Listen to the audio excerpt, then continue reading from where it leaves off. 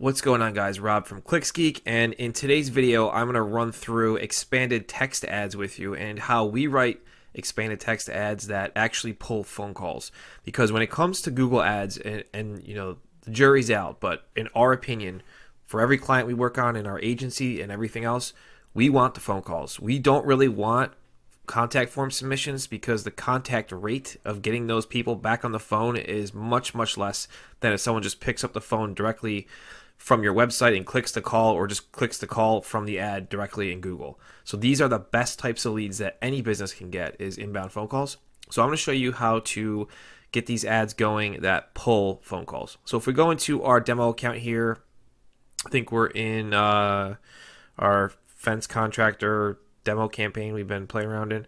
So if we go into the ad group, we choose an ad group. We'll go into any one. Let's do Let's do fence contractor. Uh, no, let's do. Yeah, let's do fence fence installations because that's gonna have some nice high intent stuff in there. We come up here to ads and extensions, and we'll see all of our ads for this ad group. And always, as always, guys, you should have three to four ads per ad group. Now, normally, I would say that there should be two text ads expanded text ads like we're looking at right now and one responsive search ad. This campaign was built a long time ago, so I don't really have one in here. So I just have three text ads. Just keep that in mind you're looking at it. If you've seen my other videos and I'm, ta- I'm talking about responsive search ads, you definitely should be using those. And you know what? Maybe I'll just run through and we'll build one while I'm in here.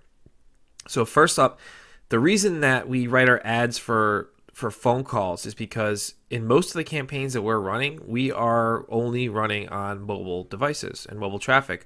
We're usually we're not doing call only though, so I, I should preface that we're not doing call only. We are doing um, regular search campaigns, and then we are negative bidding 100% for desktop and tablet. And then we're increasing our mobile traffic bids or stuff like that. So we're only running mobile traffic. So that's something to keep in mind when you're designing your landing page and your ads for these types of uh, mobile campaigns. So if we come into edit here, you'll see all the fields you get with expanded text ads. You get three headlines. So basically you get three different call to actions here. You get your display path, which is another way to work your keyword for the ad group in there. Description one, description two, and then uh, that's pretty much it. And then you have some URL options down here for your tracking stuff. But that's more advanced stuff for another video. So this is how we're doing. This is what we're doing here. So this so this uh, this ad group is fence installation. So if we're doing something, we want to call out, you know, local fence contractor requests an on-site quote, and then it tells you the area they're serving. So if I want to do that though, maybe I, I could I could mess around with this a little bit to talk about call for a quote or call to set up your quote. So I would change this. So let's go ahead and go to call to schedule your free quote. Ah, doesn't fit. Call to schedule a free quote. All right, so now we have a call to action here telling them in the ad to call. And we can even say something like click to call below if you wanted to not call out the location here in one of these ads because obviously all of the three ads they should be different. You're not going to want to have the same thing in every ad. So if we have this in other ads, we can just move this down here into the description maybe. So we'll do something like, also I would change this. These are not great ads, by the way. This was like imported campaign that we've been playing around in for like literally hundreds of videos. So I've changed it a million times. But so we should probably, if this is a fence installation ad group, I'd say something like need a need a fence installed. Need a new fence. Installed. Called schedule a free quote.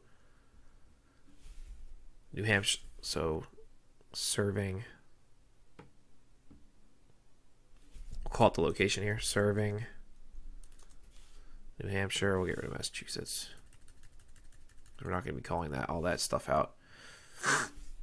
New Hampshire plus more. All right, fencing installations. I would just change that to fence installations. We build and install fences, all types and styles, wood, vinyl, aluminum, and more. Click the number. Click the phone number below to call us. So that could be a call to action because remember, the only people seeing this are going to be people on their cell phone. So it's going to look like this. All right.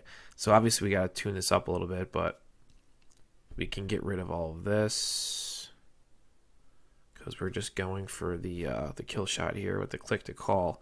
All right. So now we got our this is our fence installation ad group. So we're going into an ad we're making designed for phones.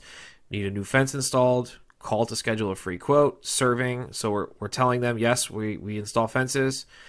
I can give I can help you with your with your new fence. I can give you a quote right away. And guess what? We serve your location.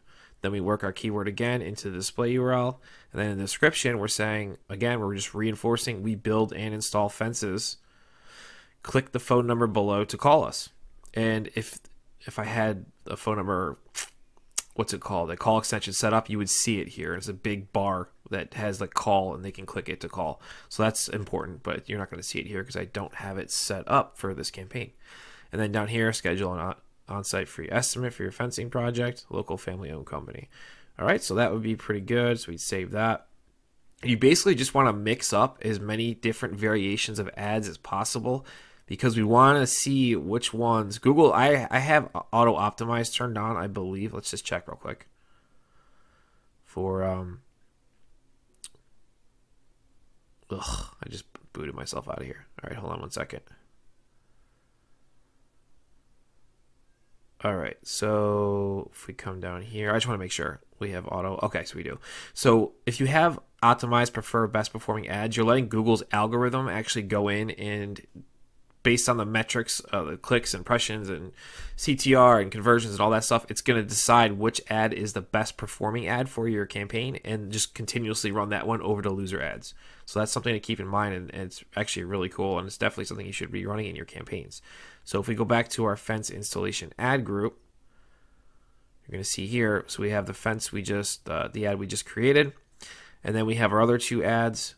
So I would come up here and we just start editing a second ad. And remember, we want each ad to be different with different hooks and different different stuff like that because um, we want Google to have a lot of fresh content to work with and to uh, to run against each other so they can determine which one is that best converting one for us. And then obviously you want to drop the losers after a certain amount of time. Usually I'd say 30 days. But that's pretty much it when it comes to expanded text ads. It, in so it, it's hard though because a lot of people don't really do what we're doing. They they're designing their campaigns for desktop. So it's important to understand that if you're watching this video, this is going to be different. The way I'm, I'm building these is going to be different than if I was building them for desktop. Okay. So we're building these ads specifically for mobile devices. These ads are not going to show on desktop. So that's important to keep in mind when you're designing your ads. I obviously wouldn't put click to call in an ad description if it was going to run on desktop because they're not going to be able to do that. You know what I mean? So it just has to make sense like that. But don't forget to subscribe to our channels, little red button in the bottom right of this video. I hope this answered some of your questions about expanded text ads. It's really simple, guys. Three headlines, two descriptions. Just use all the space you can to call out your specific audience and make sure that when they go to a landing page, that the landing page is just talking about what's in your ads. It's really that simple. It's not that hard, and uh, you'll have you'll have those high conversion rates of 20% or higher. All right, so if you have any other questions, drop them in the comment section below this video. Also, I'll put some links in the description for you guys, so make sure you check those out.